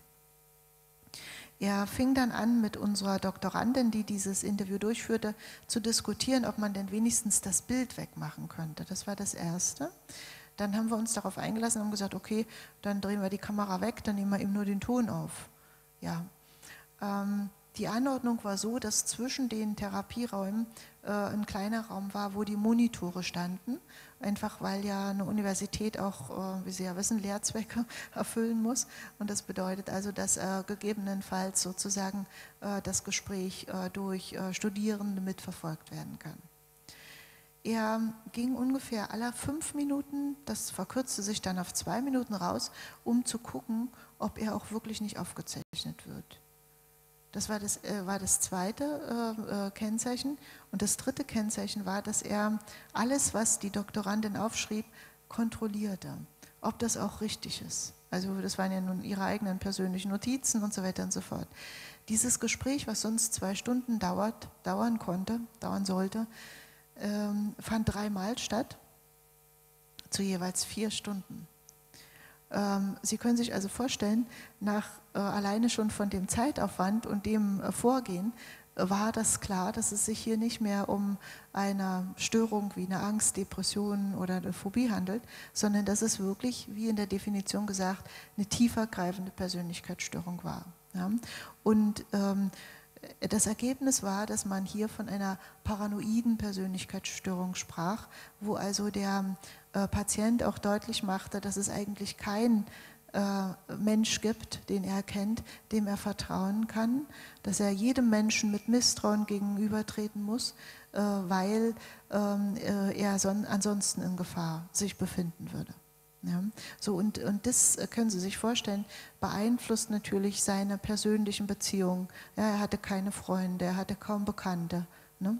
So, es beeinflusste seinen Beruf. Er hat äh, aufgrund dieses äh, Verhaltens, dieses paranoiden Verhaltens auch seinen Beruf verloren. Ja? Also das äh, beeinflusst sozusagen jeden Lebensaspekt und das ist so ein, so ein Ausdruck von paranoider Persönlichkeitsstörung. Schizoide oder auch schizotypische Persönlichkeitsstörungen sind auch wie äh, Blickdiagnosen einfach zu erkennen. Das sind Menschen, die eigentlich keinen Blickkontakt halten können, äh, die jegliche Emotionalität versuchen äh, zu unterbinden oder denen Emotionalität oder Nähe auch Angst macht und die zum Beispiel, wenn sie, ähm, wir hatten einen Kollegen, der arbeitete im IT-Bereich äh, sich mit dem Computer sozusagen beschäftigen konnte, sehr äh, zufrieden mit sich war. Aber sobald irgendeiner der Kollegen kam und eine Hilfe brauchte für den, für den Computer, hat er ihn eben dann gebeten, aus dem Zimmer zu gehen, damit er eben mit dem Computer allein ist. Ja, so. Wir haben das dann irgendwann toleriert und gesagt, okay, äh, das ist eben so, ja, wir sind ja nicht seine Behandler, ne, so, aber das wär, wäre so ein Ausdruck von schizoider oder schizotypischer Persönlichkeitsstörung. So, und, und, und diese Menschen, die so sonderbar und exzentrisch wirken, die leiden natürlich auch wirklich darunter. Also es ist nicht so, dass sie das nicht äh, selber spüren, äh, sondern die bemerken schon ihre Andersartigkeit, aber sind nicht in der Lage, von sich aus das zu beeinflussen. Dann das zweite Cluster umfasst die Erkrankungen der dissozialen Persönlichkeitsstörung, der narzisstischen Persönlichkeitsstörung und der histrionischen Persönlichkeitsstörung. Die dissoziale Persönlichkeitsstörung hat die Synonyme Soziopathie und äh, Psychopathie. Und das sind Menschen, äh, die nicht in der Lage sind, Scham und Schuld zu empfinden, beziehungsweise aus Erfahrungen zu lernen. Äh, diese äh, Störung ist nicht unbedingt für den Menschen selber äh, belastend, sondern das ist eine Störung, die vor allen Dingen für die Umwelt belastend ist. Ähm, wir erleben das zum Beispiel, wenn ähm, äh, Patienten zu uns kommen, die uns äh, große Schwierigkeiten mit ähm, dem Kind berichten, was sich noch im Kindergartenalter befindet, also so zwischen drei und sechs, ähm, und eben berichten, dass das Kind äh, andere Kinder versucht äh, zu quälen oder versucht, andere äh, Kinder zu schlagen oder zu beißen, solange bis das Blut kommt ähm, und absolut kein korrigierbares Verhalten zeigt. Ja. Es gibt da hochinteressante Untersuchungen zu. Man hat dann Menschen äh, im Erwachsenenalter, die diese Störung haben, ähm, mit EEG-Untersuchungen ähm, ähm, äh, konfrontiert und hat ihnen innerhalb der EEG-Untersuchung Filme gezeigt, drei verschiedene Arten, ähm, wie zum Beispiel ein Tierfilm, äh, einen äh, ausgesprochen emotionalen äh, Film, ein Liebesfilm und dann eine sehr sachliche Reportage über Erdbeben. Ja, so. Und das Interessante war, dass also hinsichtlich der Hirnantwort überhaupt keine Unterschiede zu finden waren. Also ob die nun einen Liebesfilm oder was über Erdbeben gehört haben, das war sozusagen hinsichtlich der emotionalen Reaktivität dasselbe. Ja, das heißt, sie konnten das, was wir als Empathie äh, bezeichnen oder als Mitschwingen bezeichnen, konnten sie nicht vollführen. Und aus diesem Grunde konnten sie auch keine Schuld und keinen Scham empfinden. Und wenn sie also irgendjemanden verletzt haben, äh, dann ähm, war das nicht äh, äh sozusagen korrigierbar, weil sie eben selber sich dafür geschämt haben oder sich schuldig gefühlt haben, sondern sie haben äh, das dann eben wiederholt, zumindest in dem Kindesalter. Dann mit der Zeit ähm, sind äh, diese Menschen, die oftmals über eine sehr hohe Intelligenz verfügen, ähm, aber auch ähm, so äh, haben sich so entwickelt, dass sie gelernt haben, was sie dürfen und was sie nicht dürfen. Ja? Wir sprechen dabei, unterscheiden dabei äh, von äh, zwischen kognitiver und emotionaler Intelligenz. Und das heißt, sie haben gelernt, was sozusagen erwünschtes Verhalten ist und das, was sozusagen anderen Menschen von, äh, aus der eigenen Empfindung herauskommt. Und wenn man sich sagt, oh, das ist aber schön, dich zu sehen und ich freue mich, wird dann eben gesagt, weil man weiß, das wird jetzt erwartet. Ja.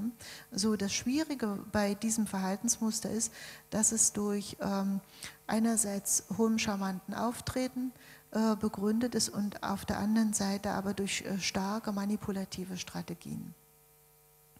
Bevorzugt finden sich äh, diese äh, Störungen in der Chefetage und im Gefängnis.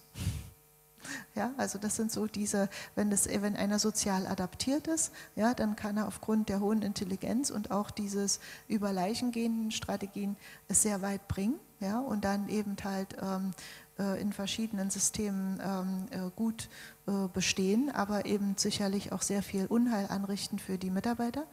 Ähm, auf der anderen Seite, wenn er nicht sozial adaptiert ist, äh, ist die Gefährdung, ins kriminelle Milieu äh, abzurutschen, auch sehr hoch. Das Interessante ist, nach Untersuchungen von Martha Stout aus Harvard, ähm, dass die Verteilung, die prozentuale Verteilung zwischen Psychopathen im Gefängnis und Psychopathen außerhalb des Gefängnisses sich nicht unterscheidet. Also es ist ziemlich hoch.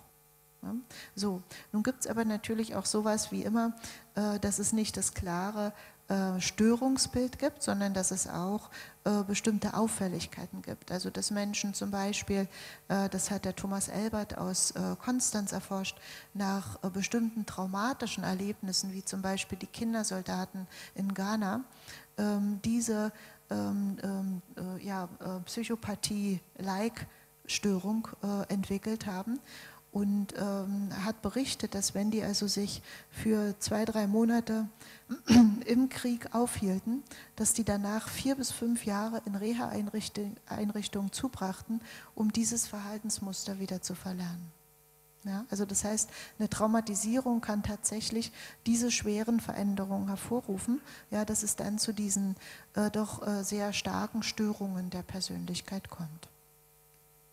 Das andere, die histrionische Persönlichkeitsstörung, ist äh, eine Störung, wo also bestimmte ähm, äh, körperliche Empfindungen äh, sehr stark aufgenommen werden und sehr stark empfunden werden und also eine große Angst entsteht, ähm, dass eben bestimmte Krankheiten eine Rolle spielen. Ja.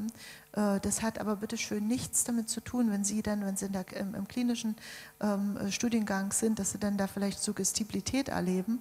Das ist nicht dasselbe ja, sondern hier handelt es sich wirklich um Auffälligkeiten, die schon im Kindesalter beginnen. Das ist auch der große Unterschied äh, zu den sogenannten Achse-1-Störungen wie Angst, Depressionen, Phobie, ja, ähm, dass das eben ähm, irgendwann mal im Erwachsenenalter auftreten kann, während die Persönlichkeitsstörungen schon sehr, sehr früh beginnen. Die narzisstische Persönlichkeitsstörung ist auch eine sehr interessante äh, Störung. Ähm, das betrifft Menschen, die äh, vor allen Dingen ähm, den Wert oder ihren eigenen Selbstwert in Frage stellen. Also äh, und zwar über zwei Verläufe. Entweder ist es so, dass schon in ihrer Lerngeschichte, also durch die Erziehung bedingt, sie nur dafür belobt worden sind, wenn sie irgendwie sehr, sehr gute Leistungen hervorgebracht haben und deswegen denken, sie sind etwas sehr Besonderes und auch von der elterlichen Seite so behandelt worden, dass sie also was ganz Besonderes darstellen. Oder es ist so, dass sie eigentlich in ihrer kindlichen Persönlichkeit überhaupt nicht respektiert worden sind und dann ähm, irgendwann den Ausweg suchen, ähm, zu sagen, naja, vielleicht ähm, bin ich einfach nicht verständlich, vielleicht ähm, ist es so wie bei ähm, den ganz ähm, äh, bedeutsamen Menschen der Geschichte, ob irgendwelche Musiker oder Wissenschaftler, die lange Zeit nicht akzeptiert und verleugnet worden sind und, äh, und dann erst später deren Wert erkannt wurde. Ja, so also praktisch wie so eine Überkompensation für fehlende Akzeptanz. Ja. Und diese narzisstische Störung ähm, äh, ist, kann sehr dramatisch sein und kann ähm, damit einhergehen, äh, dass sozusagen der Umwelt unterstellt wird, dass ähm, jede Art von, auch wenn produktive Kritik geübt wird, äh, dazu da ist, denjenigen zu verletzen. Und da können, da können Sie sich natürlich vorstellen, wenn jemand äh, mit dieser Störung ähm, äh, dann in die, ähm, in die Chefetage kommt, dass es dann relativ schwer ist, mit, in gesundes Miteinander zu leben, weil einfach derjenige sofort äh, destabil wird, äh, destabilisiert wird, sobald auch nur irgendeiner der Mitarbeiter eine kritische Bemerkung macht. Ja? So. Und wenn wir davon ausgehen, dass ja eigentlich ähm, Kritik auch Entwicklung ermöglicht, ja, äh, ist das dann natürlich sehr behindernd für ein Team. Ne? Über diese Themen werden wir unter anderem auch so in den letzten zwei bis drei Sitzungen vom Selbstsicherheitstraining reden, ja, äh, weil das notwendig ist, damit Sie, wenn Sie später als Stationsärztin oder Stationsarzt arbeiten und in das äh, Gefüge sozusagen der Medizin eintauchen, äh, als Kollegen, sich bei bestimmten Einflüssen ähm, ganz gezielt zu verhalten wissen. Ja? Es gibt Möglichkeiten, auch äh, hier äh, mit einer gewissen äh, sogenannten ähm, äh, counterintuitiven Empathie äh, ein äh, Commitment herzustellen mit diesen Menschen. Das ist durchaus möglich. Ja? So, und dann auch als vierte Störung die Borderline-Persönlichkeitsstörung. Vielleicht hat der eine oder andere schon mal was davon gehört. Das ist eine Störung, die vor allen Dingen äh, die jungen Mädchen betrifft, ähm, seltener die Jungs, ähm, wo die ähm, äh, Kinder oder Jugendlichen so unter einen massiven Stress geraten aufgrund von ähm, äh, fehlender äh, Verarbeitungsmöglichkeiten bestimmter Konfliktsituationen, dass sie anfangen, sich zu ritzen und zu schneiden. Und erst in dem Moment, wo äh, sie sehen, wie das Blut fließt, sie eine Entspannung erleben. Ja? Das ist ähm, eine Störung, die damit einhergeht, dass ähm, äh, es eigentlich äh, im Kontakt mit den anderen immer nur ein Schwarz und Weiß gibt. Ja? Also es gibt keine äh, Farbtöne, keine Grautöne jetzt bildlich gesprochen, sondern es wird einfach äh, äh, sozusagen der Mensch entweder als sehr gut oder sehr schlecht äh, bewertet. Ja? So, und diese Bewertung erzeugt natürlich innerhalb, in, in diesen Menschen massiven Stress und es führt dann zu diesem selbstverletzenden Verhalten. Ja? So, und äh, dieses Hoch und Runter betrifft aber nicht nur jetzt also einzelne Gruppen von Menschen, sondern das kann durchaus möglich sein, dass eben ähm, ähm, wenn man jetzt zum Beispiel einen Chef hat, der unter einer Borderline-Störung leidet, ähm, man am Morgen noch irgendwie äh, ein Lob erhält über äh, diese hervorragenden Aktivitäten, die man während, äh, also die man im Nachtdienst geleistet hat, um dann zwei Stunden später verteufelt zu werden. Ja, so, also das heißt, da ist eine ungeheure äh, Herausforderung an die Umwelt, mit dieser ständigen Instabilität äh, zurechtzukommen. Ja. So, für diese Erkrankung gibt es mittlerweile äh, hochstandardisierte Programme. Das hat die Marsha Linehan aus Seattle entwickelt.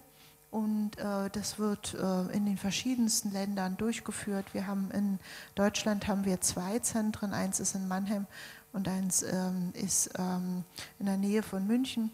Und äh, da beschäftigen wir uns direkt mit äh, dieser Störung. Äh, das hat ähm, auch äh, ja, Effekte aber es ist eine chronische Erkrankung wie alle anderen Persönlichkeitsstörungen auch. Ja. Das heißt also, wenn wir im Kollegenkreis mit Menschen dieser Störung konfrontiert sind, heißt es darum, Strategien zu finden, wie man damit lebt. Ja, oder wenn man mit Patienten konfrontiert ist, die neben der Erkrankung, weshalb sie zu uns kommen, noch eine Persönlichkeitsstörung zeigen, ist es auch eher die Kunst, wie gehe ich jetzt damit um, wie, wie, wie, wie gehe ich an den Menschen ran. Ja. So und all diese Fragen werden uns dann auch im Selbstsicherheitstraining noch beschäftigen. So, und dann gibt es die ängstlich vermeidenden, ähm, das ängstlich vermeidende Cluster mit der anankastischen Persönlichkeitsstörung. Ähm, ich habe hier diesen Waschzwang abgebildet. Das heißt also, wo anankastisch bedeutet Zwang, ja, wo also der äh, Patient äh, alle Dinge mit einer hohen Zwanghaftigkeit ausführt ähm, und äh, nicht selten ähm, äh, sehr ähm, hohe Leistungen vollbringt, aber natürlich furchtbar leidet unter der Zwanghaftigkeit. Einer der prominentesten Vertreter war Tucholsky, der sich immer die Hände waschen musste, wenn er sich mit irgendjemandem äh, unterhalten hat, der ihm zuwider war. Ja. So. Oder die ängstlich vermeidende Persönlichkeitsstörung, ähm, das ist eine sehr ähm, beeindruckende und auch wirklich äh, traurige Geschichte, wenn das insbesondere junge Leute anbetrifft.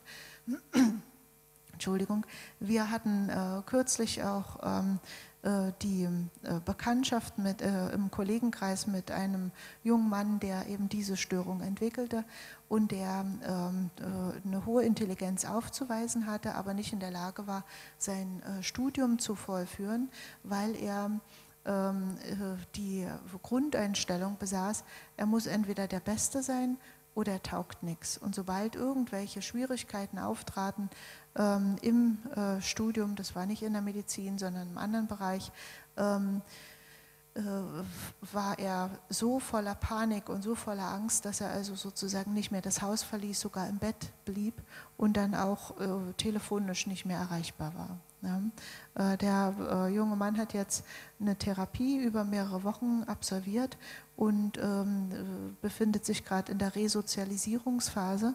Das heißt, äh, der wird mit hoher Wahrscheinlichkeit, obwohl er über eine sehr gute Intelligenz verfügt, nie wieder zurückgehen und als Student äh, äh, leben können, ja, sondern ähm, ist jetzt gerade dabei, sich ein eigenes Leben aufzubauen, indem er zum Beispiel ähm, äh, in kleineren Verkaufswagen irgendwas verkauft, sowas wie eine Bockwurst oder eine Grilletta, also ähm, ähm, verschiedene ähm, äh, kleine Dinge, die weit unter seinem Niveau sind, aber wo er erst mal lernen muss, ähm, stabil zu sein, zuverlässig zu sein, auch wirklich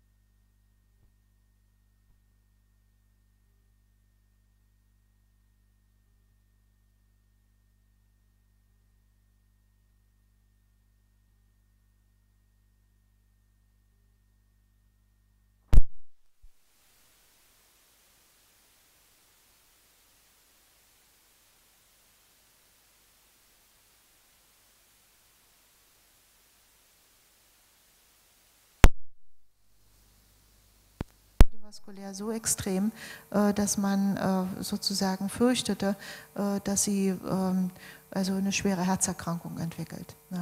Das hat dann ähm, etliche Jahre gedauert. Also sie war dreimal in psychotherapeutischer stationärer Behandlung über einen Zeitraum von drei Monaten und ist jetzt in der Lage, ähm, ohne diese Beziehung zu leben. Äh, und auch steht auch im Beruf. Ihr Mann ist also ähm, im Forschungsbereich tätig und äh, macht da auch eine sehr gute Arbeit, ähm, aber brauchte eine große Zeit und ist jetzt gerade wieder dabei, den Kontakt zu ihren Kindern wiederherzustellen. Ja, so, das sind so Auswirkungen, wie man, ähm, wie Persönlichkeit, wenn sie gestört ist, so äh, gute kognitive Fähigkeiten eigentlich unterlaufen kann. Ne? So als Beispiel. Können Sie sich so ein bisschen ein Bild machen über diese Störung? Ist das für Sie ähm, möglich? Ja? Weil das ist wirklich sehr schwer. Wenn man die Klassifikationskriterien liest, denkt man, naja, das habe ich auch manchmal. Ja? So, also die sagen nicht so viel wirklich aus, ne? weil, weil man im Text kann man schwer über die Graduierung sprechen. Ja? Und erst wenn man dann äh, die wirklichen Konsequenzen äh, sieht, dann weiß man, was das bedeutet. Ja? So, Zusammenfassung. Ähm, verschiedene Verhaltensstile können den Krankheitsverlauf beeinflussen. Persönlichkeitsentwicklung und Störung beeinflusst auch unsere Beziehung, also Arzt-Patient-Beziehung. Und die Kenntnis um Verhaltensstile und Persönlichkeit des Patienten, deren Entwicklung und Störung, ist eine wichtige Voraussetzung für die Diagnostik, für den Behandlungsplan und den Behandlungserfolg. Jetzt unsere Fragen. Welche Aussage zum Selbstkonzept trifft am ehesten zu? Das Fremdbild ist meist positiver als das Selbstbild. Das Selbstwertgefühl ist zeitlich wenig stabil, ist also sozusagen ein State-Merkmal. Eine Tendenz zur Selbstüberschätzung ist typisch für narzisstische Persönlichkeitsstörungen. Introspektion ermöglicht den Zugang zum unbewussten Selbst. Selbst- und Fremdwahrnehmung stimmen meist gut überein. Wer ist für A? Keiner. Wer ist für B? Keiner. Wer ist für C? Sehr gut. Für D? Mhm. Auch sehr gut, dass da keiner für ist. Und für E? Auch nicht. Ja, genau, also ist vollkommen richtig. Die, die jetzt für C ähm, äh, das sich entschieden haben, hätten die Frage dann richtig beantwortet. Dann die nächste Frage. Das Konzept Repression-Sensitivierung differenziert zwischen zwei unterschiedlichen Verhaltensweisen von Personen in angstauslösenden Situationen. Für Repressoren ist charakteristisch, dass sie ihre Aufmerksamkeit insbesondere auf negative, bedrohliche Aspekte richten. B. In der Lage sind, eigenes Verhalten besser kontrollieren zu können als Sensitivierer. C. Insbesondere in Entscheidungssituationen unsicherer sind als Sensitivierer. D. In mehrdeutigen Beziehungen insbesondere auf beziehungsrelevante Hinweise achten. E. Vor allem positive Reize wahrnehmen, angsterzeugende Reize übersehen sie. Wer ist für A? Für B? Für C? Für D? Okay, für E. Ja, sehr gut. Genau, also E ist richtig. Ähm, das haben Sie sehr gut beantwortet. Und jetzt noch die letzte Frage, da fehlen uns jetzt zwar die Alternativen, aber da kommen wir auch noch hin. Ein 50-jähriger Mann hat einen akuten Infarkt erlitten. Während der ersten Krankenhaustage treten immer wieder bedrohliche Herzrhythmusstörungen auf. Dem behandelnden Intensivmediziner fällt auf, dass der, äh, dass der Patient dazu neigt, seine Situation zu bagatellisieren. Wie wird der Arzt in seinem Handeln dem Bewältigungsstil des Patienten am ehesten gerecht? Also die Frage, was ist das für ein, für ein Verhaltensstil? Was würden Sie sagen? Bagatellisieren? Wir hatten die Feldabhängigkeit, wir hatten die Interferenzneigung. Wir hatten Repressor, Sensitizer, äh, Sensitizer wir hatten äh, Novelty Seeking, Sensation Seeking und aktive Bewältigung. Ist Bagatellisierung eine aktive Bewältigung? Mhm. Wunderbar, sehr gut, sehr schön. Wunderbar, damit sind wir am Ende. Ähm, hier sind nochmal für Selbststudium Studium einige Aspekte und ich danke Ihnen für Ihre Aufmerksamkeit.